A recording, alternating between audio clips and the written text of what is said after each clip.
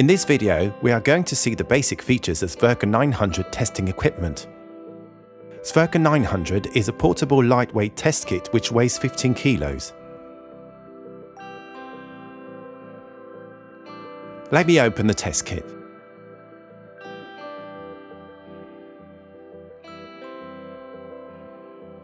The connection lugs and description of the operation buttons are available in the closing lid. These are the connection lugs and a detailed description on the operation buttons.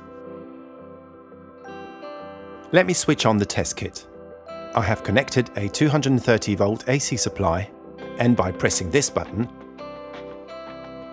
the kit will be powered on.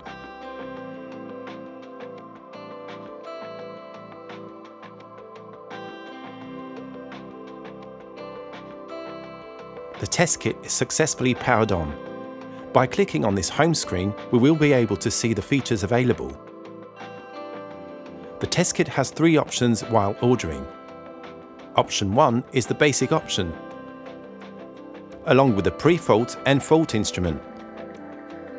Option 2 is the standard option, where the main instrument, the pre-fault and fault instrument, ramping, state sequencer and CT magnetizing is available.